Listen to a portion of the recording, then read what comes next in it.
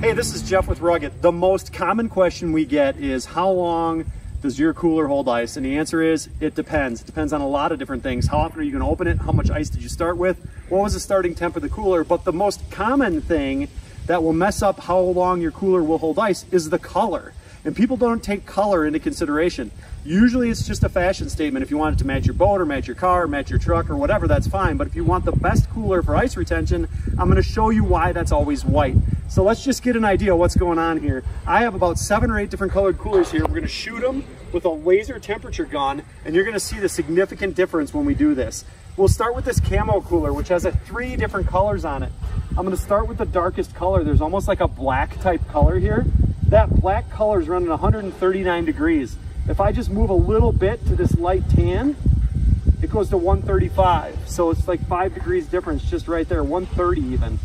So to go to the next cooler here, this blue, we drop to 110 degrees on the lightest, 108, 109 degrees on this lightest color.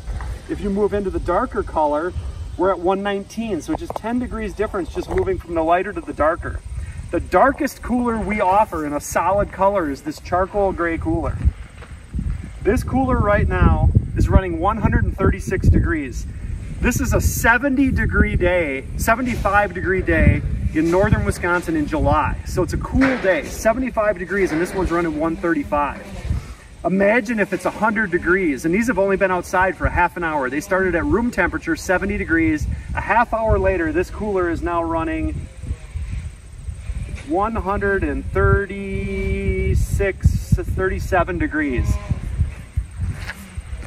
122 on the light gray,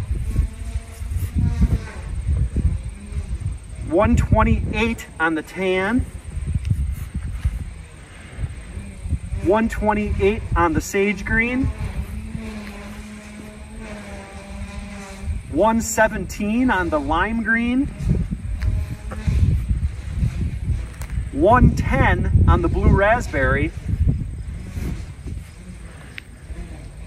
and Old Faithful White is running 84 degrees. So 84 degrees on white, and if I remember right, we were 134 on gray. Yeah, we're, we're exactly 50 degrees difference from white, the, the lightest color, to dark gray, the darkest color.